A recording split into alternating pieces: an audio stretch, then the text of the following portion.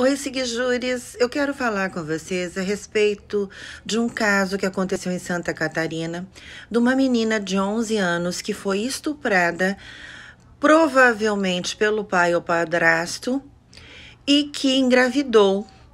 Foi ao hospital com 22 semanas de gestação, na tentativa de fazer um aborto não foi concedido o aborto porque o hospital, apesar de estar na lei que esse hospital poderia fazer o aborto sem ordem judicial, não quis fazer porque alega que passaram-se 20 semanas e acima de 20 semanas sem autorização da justiça seria inviável.